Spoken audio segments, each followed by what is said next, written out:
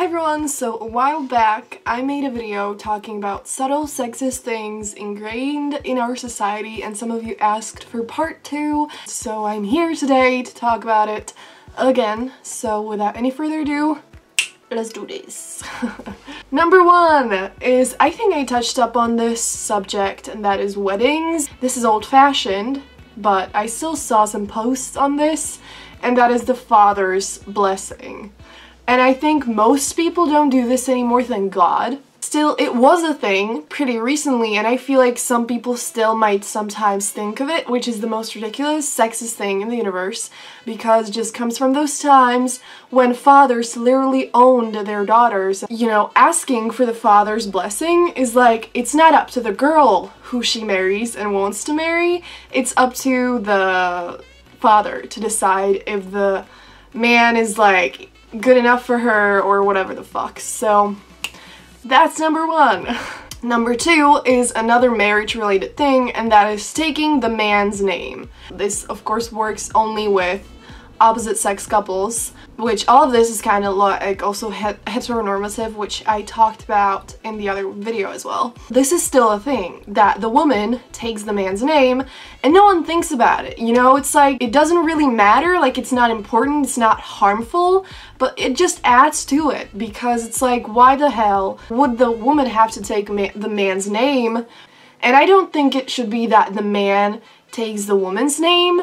I just think it should be like, one thing I actually thought of, I was like, that would be so cool, is like if they put the names together, like ship names kind of, that then they would have a new name that's like both of those names together, which would be really beautiful and like nice. It's like you take away the woman's last name to just change it for the man's name, which is then like as if she belongs to that man and she's no longer just like who she was, but she's like kind of the man's property, which is disgusting.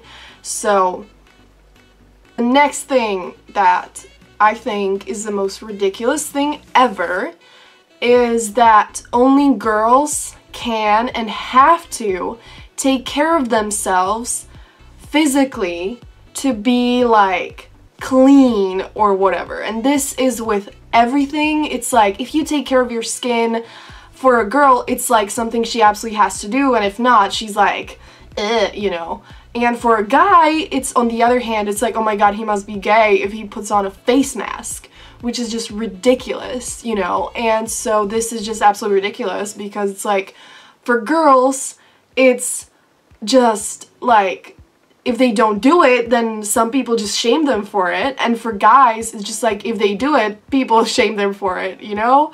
So this is just ridiculous and we should create a world where everyone can just feel free to do whatever the fuck they want with their lives and bodies without being shamed for it.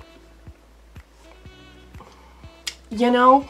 Yeah, like this is something I come across all the time. It's like tweezing eyebrows, it's shaving, it's like skincare, and I'm just like,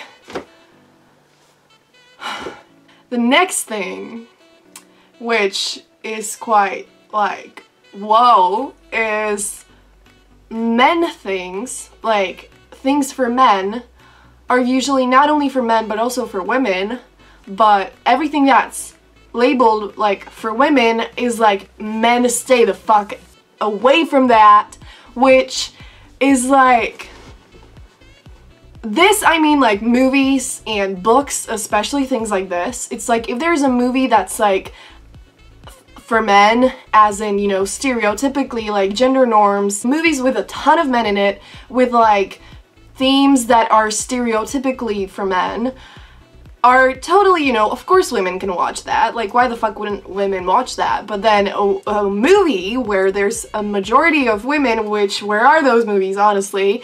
Um, and are labeled for women are like men can absolutely never watch that.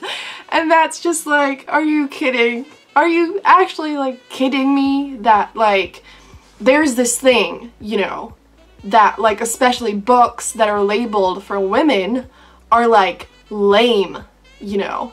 Like, the thing that we associate with it is just that it's like lame and that only women should read it because for men it's just like too lame and like too female which is just like wow wow wow another thing is the friend zone. I've heard this so many times, even girls use this shit. The friend zone is basically judging a girl for saying no to dating a guy. And usually, we don't hear that girls are in the friend zone. Sure, a few like cases occasionally, but almost never.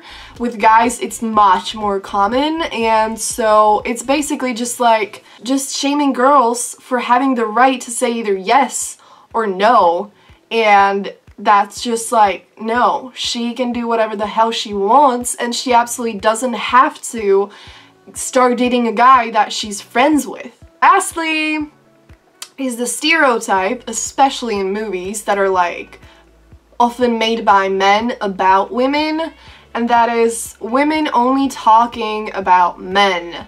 And you know, this is a common problem in movies that a lot of the time when there's a conversation between two women, it's about men, as if women don't talk about anything else. Yes, it's true that women talk about men, or women, or, you know, shit like that, but I can assure you, it's not the only thing that women talk about in the slightest. And so this is another thing that's associated with women as in like the stereotype that women only live for for men.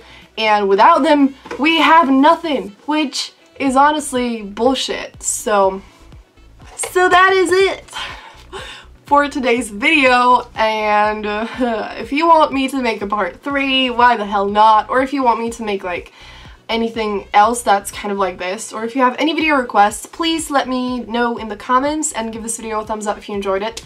And that's gonna be it. Have a brilliant day and see you soon in another video. Bye